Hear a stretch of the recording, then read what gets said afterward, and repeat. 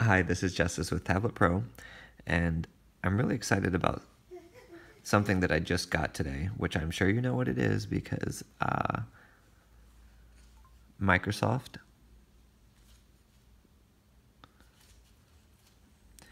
because I put it in the title. All right, so spoiler alert. It's this. This is what I'm excited about. Oh. Oh. Oh.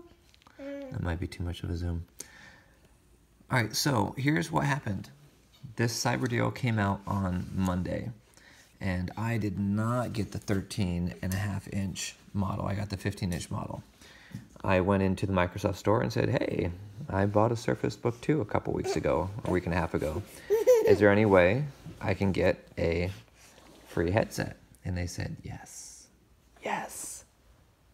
Yes. That's it.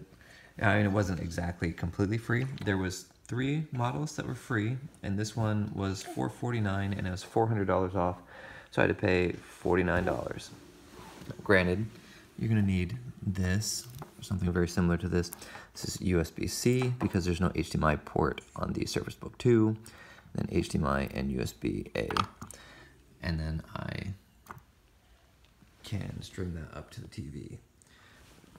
And the TV, I have it streaming with a wireless connector from wireless adapter from Microsoft that also costs 50 bucks. Totally worth it. Not super smooth, but it lets you um, show what you're doing to everyone who's in the room. Isn't that right? Is that funny? Isn't that funny? Free virtual reality? Yeah. It's not virtual reality. It's mixed reality.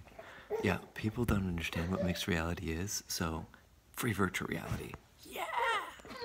So if you just bought the Surface Book 2, go to the store right now and try and get a free virtual reality, mixed reality, mixed reality headset uh, because that's an awesome deal. Also, I will be doing some mixed reality um, videos coming up soon, and there's some stuff that you guys are going to want to know. Ah.